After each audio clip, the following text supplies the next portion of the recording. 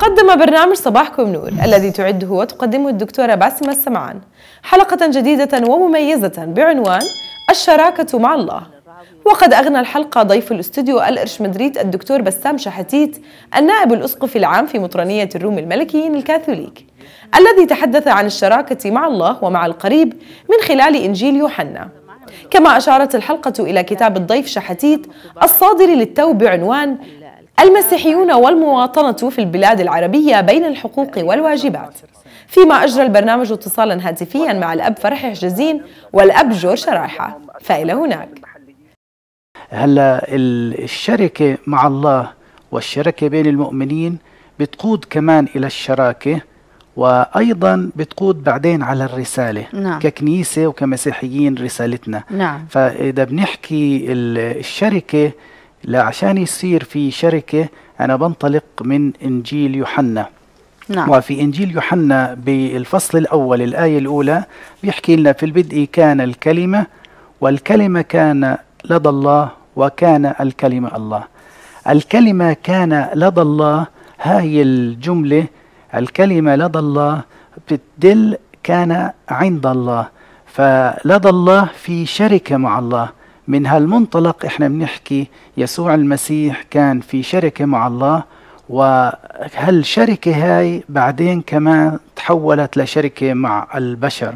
فمن هال هالشركة هاي في بإنجيل يوحنا إذا بنتعمق فيه وبده وقت كمان إنه نتعمق في هالكلمة الشركة اللي هي باليونانية بروس.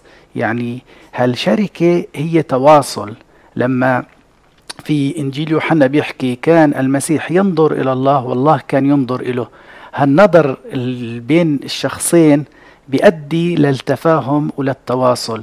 حلو. فمن هنا آه، التواصل بيننا وبين الله كمان على مثال يسوع المسيح بتعطينا شركة عميقة. وبيحكي لنا كمان في الآية 16 ومن امتلائه نحن أخذنا ونعمة فوق نعمة. حديثنا اليوم في نقطتين النقطة الأولى أهمية معرفة يسوع. ثانيا هذه المعرفة يجب أن تقودنا إلى اللقاء الحقيقي مع يسوع. اللقاء بالمسيح عندما أخذه قدوة لي في مجال الخدمة. من ادعى أنه ثابت فيه عليه أن يسير مثل سيرته. كانت سيرته خدمة. ابن الإنسان لم يأتي ليخدم بل ليخدم.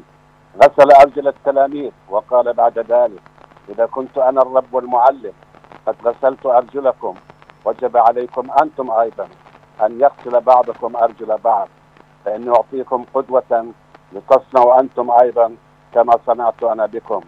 فمن أراد أن يكون فيكم كبيرا يكن لكم خادما ومن أراد أن يكون الأول يكن لكم عبدا.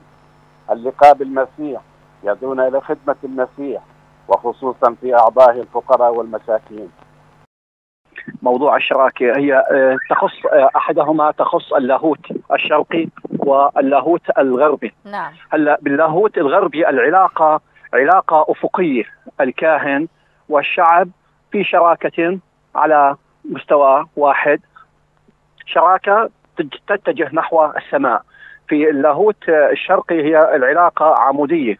الكاهن بمقدمه المصلين المصلين في أماكنهم في علاقة شراكة يصلهم الكاهن. نعم. ما حللتموه على الأرض فهو محلول السماء، هذا السلطان الذي منحه الرب يسوع المسيح لتلاميذه ومن بعده للآباء والقديسين والكهنة والأساقفة.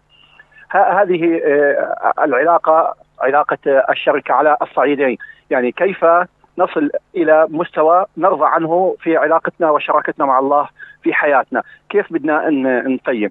وفي آه، ذات السياق محبة السلطة أم سلطة المحبة؟